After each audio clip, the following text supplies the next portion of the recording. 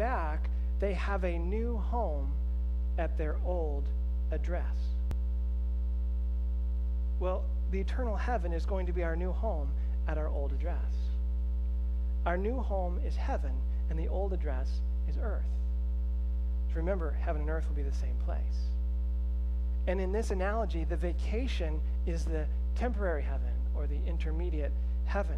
We go there for a little while, and then we come back to our old home and find it completely transformed into something astonishingly beautiful.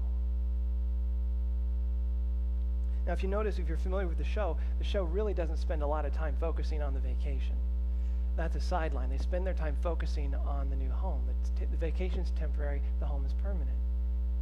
Similarly, the Bible says relatively little about the present heaven, which is temporary. It focuses its attention on our eternal home, which is permanent. And so you might actually have a lot of questions about this temporary heaven. For example, will we have bodies in the intermediate heaven? Those who have died before us in Christ, do they have bodies? Are they in a physical place? Well, the resurrection hasn't taken place yet, so it's a good question. I think they probably do. And I think they do for a couple of reasons one philosophical and one biblical. And the philosophical reason is this God and the angels are, in essence, spirits. They don't have a body naturally, they are spirit beings. We learn about this in John 4 and Hebrews 1.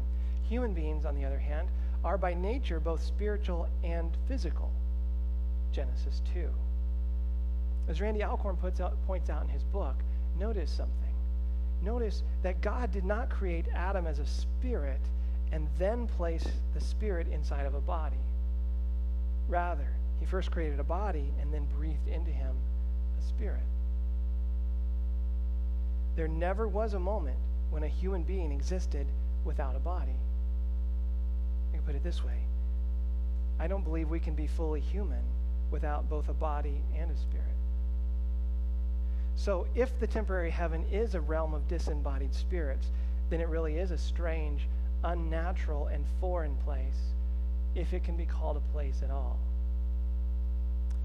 But more importantly, is the biblical reason. There are actually quite a few scriptures which seem to indicate that people currently in heaven have bodies. For example, Jesus is in heaven, and he has a body which is really kind of cheating a little bit because his is a different kind of body. He's resurrected already, he has the fully glorified body. And ours, at best, would be a temporary body awaiting our resurrection. But at least we know for sure that one person, at least, has a physical body in current in intermediate heaven. But then remember Enoch and Elijah? Do you remember how their life ended? It didn't. They didn't die. God simply took them in their bodies straight to heaven. And so we know there are at least three people in temporary heaven who have bodies. And then remember the transfiguration? Remember when Moses appeared with Elijah and Jesus on the mountain? And he had a body too. And so we know there are at least four people in the intermediate heaven who have physical bodies. There are actually quite a few other examples. I don't have time to cite them all now, but I think it is reasonable to assume that if we die before Jesus returns, we will live with him in a real material place with real physical bodies, even though they're temporary, waiting for our resurrection and glorification. Now, I know there are a number of other questions that I, I really wish I had time to address today, like do our friends and family in heaven remember their life here on earth?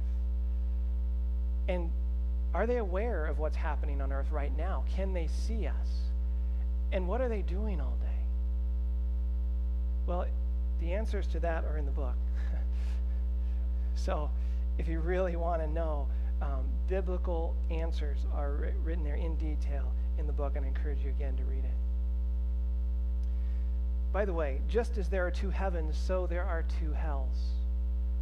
There's the eternal hell, or the lake of fire, and there's what we might call the intermediate or temporary hell. Let me be clear unbelievers who die outside of Christ go immediately and physically to a place of torment. This place has various names in the Bible, such as Sheol, Hades, Gehenna, and of course, hell.